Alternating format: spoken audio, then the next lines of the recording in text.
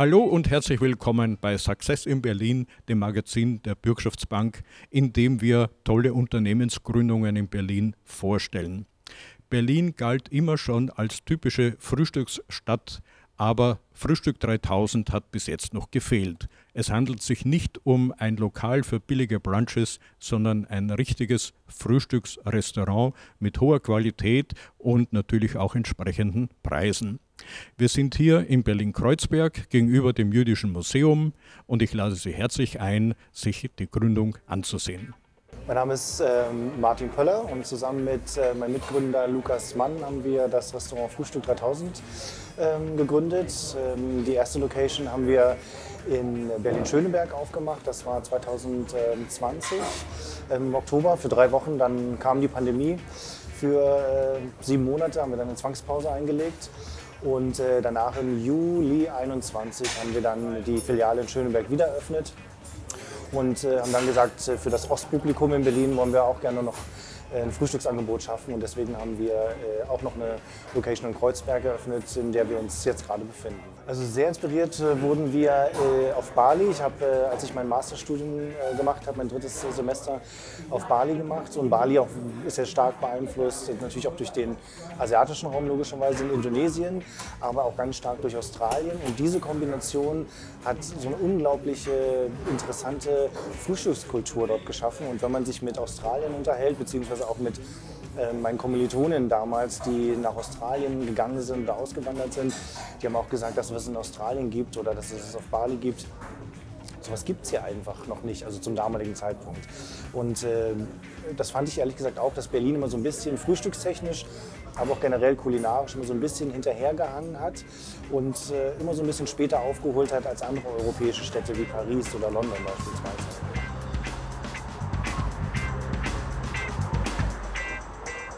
Steffen Hartung, ich bin Geschäftsführer der Bürgschaftsbank Berlin und auch Geschäftsführer der Beteiligungsgesellschaft Berlin-Brandenburg. Und als Bürgschaftsbank sind wir Finanzierer des Mittelstandes für kleine und mittlere Unternehmen und unterstützen damit Bürgschaften und Beteiligung.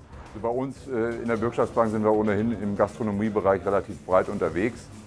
Und äh, wir haben viele erfolgreiche Beispiele, unter anderem eben auch das äh, Unternehmen, Frühstück 3000, denkbar schlechter Start in der Corona-Pandemie ne, 2019. Insofern unternehmerisch finde ich super gemeistert. Guido Wegner ist mein Name. Ich bin äh, 57 Jahre alt und arbeite seit 38 Jahren bei der Berliner Volksbank und in den letzten 17 Jahren beschäftige ich mich dort mit Existenzgründung und Unternehmensnachfolge.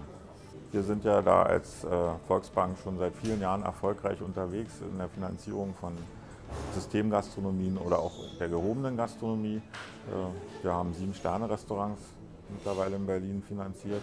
Und von daher kennt man da sehr viele in der Szene und äh, auf Empfehlung kam dann der Kontakt auch zu Martin Pöller zustande.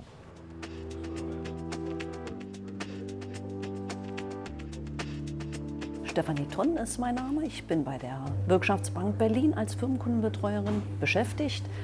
Die ersten 20 Jahre waren es im Neugeschäft gewesen, jetzt in der Marktfolge. Und äh, da resultiert auch der Kontakt her im Neugeschäft, den ersten Standort, die, den Herrn Pöller und seine Kompagnons mit kennengelernt. Und jetzt auch hier für den zweiten Standort, wo wir heute sind, ähm, durfte ich wieder mit begleiten in der Marktfolge. Marktfolge sind äh, diejenigen, die Voten abgeben für äh, Vorhaben und ähm, insofern als Vier-Augen-Prinzip, das dann da gewahrt wird. Also es ist ja, das zweite Augenpaar, das dann auch seinen Segen dazu gibt. Und das habe ich hier in diesem Fall natürlich sehr gerne gemacht, weil ich einfach beim ersten Mal auch schon dabei war und sehr überzeugt war von den Gründen. Das Besondere an äh, Frühstück 3000 ist ähm, die Produktqualität. Was wir immer oft zurückspielen, zurückgespielt bekommen von den Gästen, ist tatsächlich einfach auch, selbst wenn man sich nicht in der Küche auskennt, dass das, was auf dem Teller ist, einfach besonders gut schmeckt. Viele Gäste können sich gar nicht äh, so richtig vorstellen, warum das so ist. Aber wenn wir ihnen dann äh, mal erklären, warum äh, das äh, Ex-Benedict beispielsweise mit Lachs so gut schmeckt, dann sagen wir, das ist keine Soße aus der Packung, wie es ganz viele Restaurants machen. Der Lachs ist in der ganzen Seite, kommt in der ganzen Seite, wird äh, handgebeizt hier im Restaurant und es ist frischer Lachs und es ist kein Lachs aus der Packung beispielsweise. Und das unterscheidet uns zum einen, also wirklich im Produkt, aber auch ganz besonders im Personal. Also das wird uns ganz, ganz oft zurückgespielt, dass wir ähm, besonders freundlich zu sein scheinen. Das wundert mich auch, denn wir kommen alle aus der Fünf-Sterne-Hotellerie und Sterne-Gastronomie. Also ähm, sowohl unser Restaurantleiter Lukas, äh, unser Mitgründer und Küchenchef. Ähm, ich habe auch im Hotel Adlon gelernt und gearbeitet.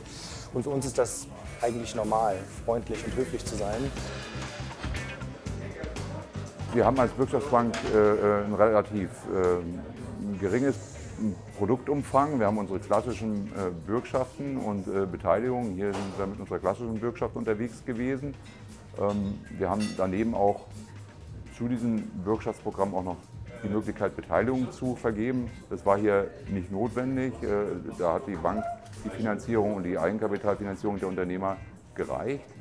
Ähm, darüber hinaus haben wir aber auch dann noch für bestimmte Bereiche äh, Bürgschaften. Äh, unsere Programme in dem Bereich sind ähm, erst jüngst intensiv gestartet. Das ist BBB Social für Unternehmen aus dem Sozialbereich sozusagen, die eben sehr gemeinnützig unterwegs sind.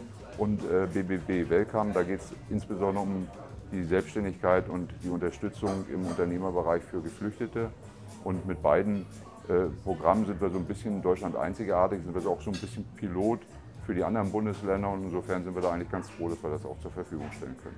Wir haben, seitdem wir auch mit dem Gründercenter uns in diesem Bereich sehr früh positioniert hatten, vor 17 Jahren sehr viele äh, Finanzierungen gemacht. Sicherlich heute nicht mehr unbedingt das Café an der Ecke. Das war vor äh, 10, 12 Jahren noch was anderes. Aber äh, große Projekte ähm, mit gestandenen Unternehmern aus der Gastronomie-Szene, die die entsprechende Berufserfahrung auch mitbringen und Führungserfahrung und mit ein bisschen Eigenkapital kommen, die werden auch heute noch umgesetzt. Also er kam auf Empfehlung zu uns und äh, wir haben uns dann das erste Mal zusammengesetzt, da gab es noch gar keinen Standort. Da ging es jetzt nur erstmal darum, miteinander zu reden, ähm, ist sowas vorstellbar, finanziert sowas die Bank, was müssen für Voraussetzungen erfüllt werden, damit das dann auch erfolgreich umgesetzt werden kann. Dadurch sind wir in der frühen Phase. Es gab zwar schon einen Businessplan ähm, und ein Konzept, äh, was die drei Gründer uns vorstellen konnten, aber es fehlt eben noch der Standort. Und ähm, bevor man sich da entscheiden wollte, wollte man auch eine Meinung der Bank hören. Und das haben wir schon sehr frühzeitig, über ein Jahr bevor wir dann nachher in die Finanzierung eingetreten sind, fand da schon das erste Gespräch statt, ähm, sodass wir schon einen sehr guten Eindruck vom Gründerteam gewinnen konnten und vom Konzept. Und damals schon signalisiert haben, dass wir das sehr gerne begleiten würden in der Konstellation, wie uns das vorgestellt wurde. Und so sind die drei Gründer dann auf Standortsuche gegangen. Üblicherweise ist äh, der Antragsweg über die Hausbank. Das war hier die Berliner Volksbank, einer unserer stärksten Zuträger auch. Äh, und auch so haben wir hier diesen, wurde hier dieser Kontakt hergestellt. Dann aber auch durchaus der persönliche Kontakt, der dann im Anschluss erfolgt im Rahmen der Bürgschaftsvergabe. Die konkrete Aufgabe ist, ähm, das Vorhaben zu prüfen, die Gründer auch kennenzulernen und tatsächlich auch äh, die Persönlichkeiten zu beurteilen, aber das Vorhaben auch selbst. Und dazu gehört der Standort, dazu ist ähm, die Planung zu äh, überdenken, die Investitionsplanung, wie weit ist das realistisch?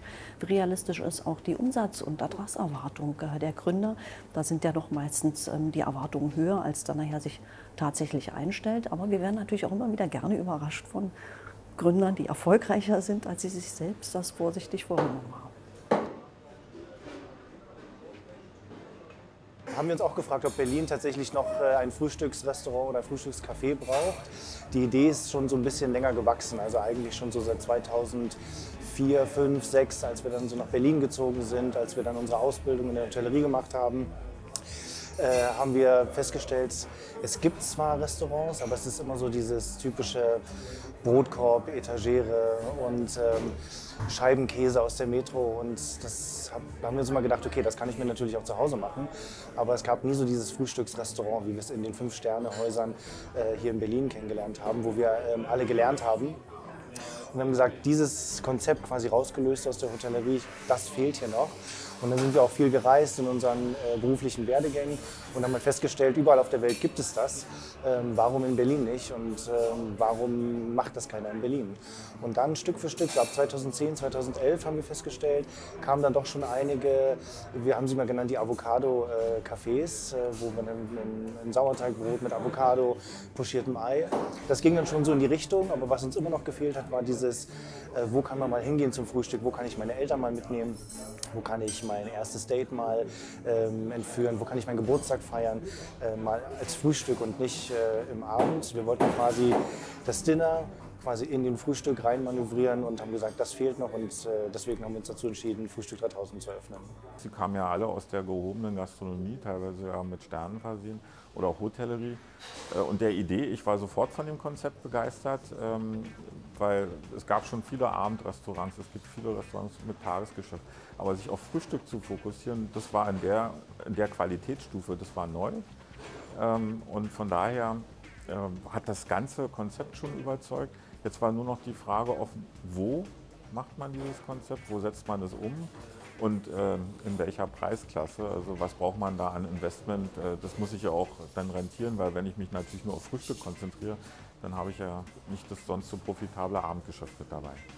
Die Gastronomie ist ähm, vielleicht auch ein Stück weit nachvollziehbar, aber wird doch immer wieder als äh, kritische äh, Branche betrachtet, egal in welcher Zeit eigentlich. Ja, selbst in der Hochkonjunktur ähm, wird das immer wieder äh, kritisch beäugt. Insofern ist da natürlich das Sicherungsbedürfnis der Hausbanken höher bei dieser Branche und insofern könnte ich würde ich jetzt mal aus dem Gefühl heraus sagen, dass tatsächlich Gastronomie einer, äh, der Branchen ist, die wir relativ häufig im äh, Bestand haben. Die Berliner Volksbank war tatsächlich relativ schnell überzeugt aufgrund der, der Lebensläufe. Ich glaube, das trägt natürlich schon stark dazu bei, dass man sagt, okay, hier macht jemand ein Restaurant auf, der jetzt vorher nicht unbedingt ein Fotograf war oder ein Schauspieler oder ähm, keine Ahnung aus welcher Berufsgruppe, sondern das macht hier jemand, der wirklich ähm, das Fach gelernt hat, der da auch gearbeitet hat, der es auch der weiß, wie anstrengend und wie hart und wie herausfordernd äh, dieses Business tatsächlich ist. Und dass es nicht nur ist, ich äh, stelle einen Kaffee auf den Tisch oder auf den Tresen und unterhalte mich den ganzen Tag mit Gästen ganz nett bei einem Glas Champagner, sondern dass es wirklich wie jeder Job einfach harte Arbeit ist und dass da mehr dazu gehört, als nur, ich sage jetzt mal ganz salopp, einen Teller auf den Tisch zu stellen und danach abzuräumen. Da sind ja viel mehr Prozesse. Und ich glaube, das hat die Bank gesehen, die Berliner Volksbank und gerade auch unser ähm, äh, Berater, unser Betreuer, Herr, Herr Wegner. Ähm, und er war ja einer derjenigen, der Befürworter, der an uns geglaubt hat. Und ähm, ja, das hat natürlich auch mit dem Werdegang zu tun. Und, ähm, aber ja, man braucht natürlich auch jemanden, der an einen glaubt. Ja. Die Berliner Volksbank ist hier regional tätig. Es ist ein typisches Berliner Unternehmen. Ich glaube, es war sogar einer der ersten Banken, die überhaupt wieder nach 45 zugelassen wurden. Und das spiegelt sich eben auch äh, wieder, dass die so stark verhaftet sind hier, ähm, dass sie wahrscheinlich auch am häufigsten angesprochen werden bei Existenzgründungsvorhaben. Und das ist auch der Grund, ähm, dass eben so viele ähm, oder dass wir relativ viel zugetragen bekommen über die Berliner Volksbank.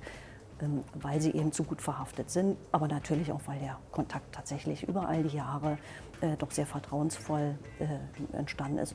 Und wie gesagt, die Berliner Volksbank, die gibt sich eben auch redlich Mühe, eben auch die Existenzgründer zu begleiten, denn aus Existenzgründern werden irgendwann auch kleine und mittelständische Unternehmen.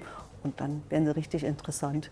Ähm, ja, da, da resultiert das wahrscheinlich her zusammen muss man natürlich rechterweise sagen, es gibt auch andere Institute, die, die engagiert sind. Also auch die äh, Berliner Sparkasse äh, muss hier genannt werden, weil die natürlich sich auch äh, durchaus mit einer eigenen Existenzgründungsabteilung wie die Berliner Volksbank doch äh, da schon ganz stark äh, engagiert. Aber die Volksbank, kann man sagen, ist, ist ein starker Zuträger für uns. Genau, wir haben Eigenkapital äh, mit reingebracht. Das wird vernünftigerweise auch verlangt seitens äh, den äh, Banken. Ähm, Eigenkapital, dann unterstützt wurden wir durch die Berliner Volksbank in Kooperation mit der Bürgschaftsbank. Genau, und ähm, so hat sich das Ganze ergeben. Wir sind ganz regulär ins Gründungscenter äh, gegangen und haben uns quasi erstmal ganz schlicht vorgestellt, gefragt, welche Unterlagen werden benötigt. Dann haben wir alle Unterlagen zusammengesammelt und ähm, dann ging das eigentlich relativ äh, problemlos. Solange es äh, gelingt, natürlich auch für Unternehmen die Preise weiterzugeben, ist das äh, äh, für die Unternehmen zunächst in Ordnung, aber Sie haben völlig recht. Äh, steigende Inflation heißt auch Kaufkraftverlust. Das heißt, äh, wir sehen es ja an diesem Konsumklimagüterindex, äh, dem GfK-Index.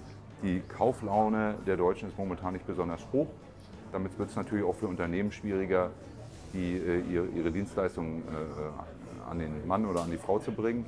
Aber gerade wenn wir mal im Gastronomiebereich bleiben, man spürt ja da kräftige Aufschläge auch in, in, in, den Preisen.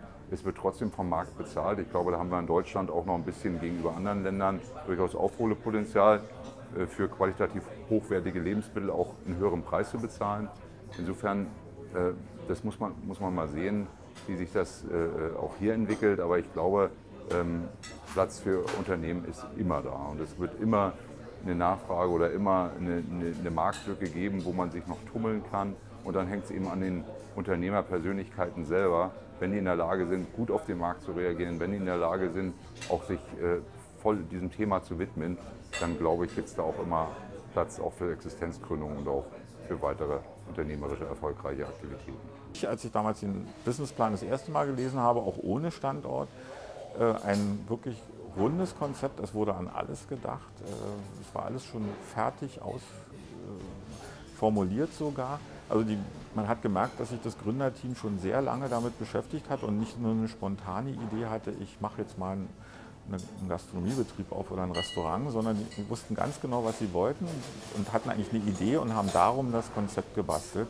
Hier eben dieses Frühstückskonzept. Und das war auch das, was mich als allererstes sehr überzeugt hat, äh, dass es preislich etwas höher ist als im normalen Frühstückscafé. Das, das versteht, glaube ich, auch jeder Kunde und deshalb hat man hier auch eine ganz klare Zielgruppe. Der erste Standort, der wurde von den Gründern ausfindig gemacht. Das war eigentlich der schwierigste Part an der Finanzierung, weil sowohl für die Hausbank als auch für die Bürgschaftsbank, die wir ja da frühzeitig mit ins Boot genommen haben, diese, als dann der Standort wirklich feststand, für uns war das die größte Herausforderung bei der Finanzierung. Wir haben bei uns die Philosophie, dass wir die Gründer durch die ersten drei, vier Jahre begleiten. Dann geben wir sie ab äh, in das Bestandsgeschäft, um uns wieder neuen Gründungen und Nachfolgen zu widmen. Aber ich bin mir sicher, wenn sich das so weiterentwickelt, wie sich der erste Standort entwickelt hat und der zweite auch so erfolgreich wird, dass wir dann auch über einen dritten Standort, über ein Franchise-Konzept, über alles miteinander reden können. Als Erstes wird natürlich äh, oder findet die Begleitung natürlich durch die Hausbank statt. Wir sind der Sicherungsgeber mit unserer Bürgschaft und insofern treten wir, sage ich mal, erstmal einen Schritt zurück. Aber natürlich ähm, allein schon durch die jährliche Überwachung und, und durch den persönlichen Kontakt, den man dann vielleicht noch zu den Unternehmern hat, ähm, begleitet man sie, seelisch-moralisch will ich sagen, also ähm, beobachtet äh, die Engagements. Äh, wir hoffen uns natürlich immer, dass äh, Gründer sich erstmal konsolidieren in einer guten Phase und dann natürlich auch mit weiterem Wachstum gerne auch dann wieder auf uns zukommen. Aber unser Wunsch ist natürlich, dass sie dann auch irgendwann flügge werden und uns letzten Endes nicht mehr brauchen, denn die Idee dabei ist ja, ne, es soll kein Vorhaben scheitern ohne Bürgschaft, aber die Unternehmer sollen damit eben auch stark gemacht werden, dass ihnen irgendwann die Banken dann hoffentlich so vertrauen, dass sie dann eben auch mal bereit sind, höhere Risiken einzugehen. Ich sage mal, gegessen und getrunken wird immer. Also selbst wenn man ins Jahrhundert zurückgeht, auch in größten Krisenzeiten hat Gastronomie immer funktioniert. Nicht alles und nicht immer in jeder Preislage, aber wenn man ein gutes Konzept hat, den geeigneten Standort und die passenden Gründer, dann hat man gute Chancen, auch erfolgreich am Markt tätig zu sein. Auch jetzt gibt es immer noch Gastronomiebetriebe, die Geld verdienen, trotz schwieriger Zeiten. Ähm, die äh, Anforderungen sind eben höher und die Rahmenbedingungen eben schlechter. Also wenn ich alleine an das Fachkräftethema denke, viele Restaurants schließen im Moment nicht, weil sie wirtschaftlich Misserfolg allein, sondern weil sie kein Personal haben. Und diese Themen muss man lösen. Ähm, und da ist natürlich dann immer, sind gute Partner an der Seite dann natürlich ganz toll wichtig.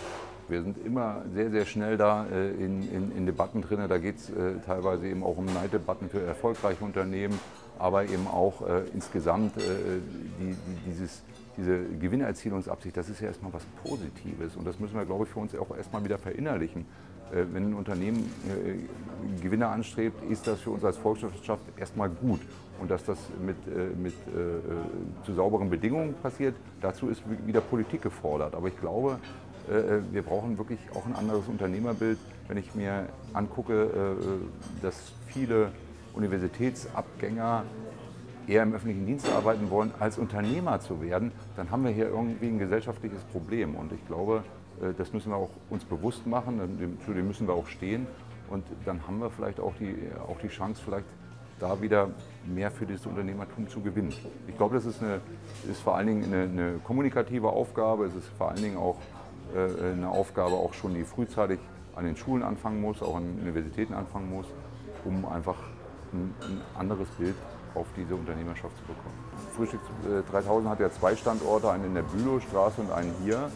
Und wir waren äh, zunächst in der Bülowstraße unterwegs. Das war vom Standort für uns zunächst sehr anspruchsvoll, sage ich mal. War nicht der beste Standort, wie wir vermutet haben. Der hat sich aber sehr gut entwickelt. Insofern äh, sind wir auch froh, dass wir das Engagement dort begleitet haben. Und es sind drei ja, relativ junge äh, Unternehmer, zwei äh, Herren, eine Dame, ähm, die hier unterwegs sind. Und für uns ist immer eine dankbare Aufgabe natürlich gerade dann in die, in die äh, Selbstständigkeit zu helfen. Und insofern denken wir, ist das ganz gut gelungen und wir haben mit unserer Bürgschaft dann auch das Engagement der Berliner Volksbank sehr sinnvoll begleiten können.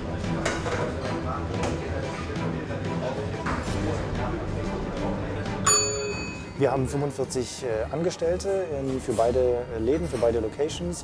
Da zählen auch Lukas und äh, ich mit rein. Und das ist schon ein ordentlicher Stab an Personal, die wir für beide Restaurants brauchen. Ähm, aber der Fachkräftemangel, der zeigt sich bei uns Gott sei Dank nicht so. Das hat aber den einfachen Grund, glaube ich, oder glauben wir, ähm, weil wir eine gehobene Gastronomie sind, ähm, allerdings mit sehr familienfreundlichen Arbeitszeiten oder mit Arbeitszeiten, die ein Gastronom ganz, ganz selten hat oder man Gastronom gerne braucht oder gerne auch gerne mal hätte. Und deswegen haben wir auch ganz viele, die aus der Abendgastronomie, aus der gehobenen Abendgastronomie wechseln wollen, weil sie Kinder haben, Familie haben, weil sie nicht mehr in der Nacht arbeiten wollen beispielsweise. Und das macht es für uns wirklich einfach. Also ein Beispiel, ähm, ein Barmann verlässt uns jetzt, sodass ich jetzt anfange, ähm, nach äh, Barmännern zu suchen, was für mich immer so das, die, mit die schlimmste Position ist, weil es ist schwierig. Man braucht jemanden, der muss mit Kaffee fit sein, der muss mit Cocktails fit sein. Auf, nur auf diese Stelle haben sich 70 äh, Bewerberinnen und Bewerber äh, angeboten. Und das ist wirklich großes Glück. Also wir können uns wirklich teilweise die Mitarbeitenden aussuchen. Ähm, wir haben das große Glück, dass wir halt keine Abendgastronomie sind. Ich glaube, das ist unser großer Vorteil. Gegessen und getrunken wird immer. Diese alte Volksweisheit dürfte die Banker überzeugt haben, auch in Zeiten der Inflation und der Krise diese tolle Investition Frühstück 3000 zu begleiten. Bis jetzt gibt es zwei Lokale in Berlin, eines in Schöneberg und eines in Kreuzberg. Vielleicht werden es einmal 3000 weltweit, wer weiß. Ich danke Ihnen fürs Zuschauen bei Success in Berlin, dem Magazin der Bürgschaftsbank und ich freue mich aufs Wiedersehen in der nächsten Sendung.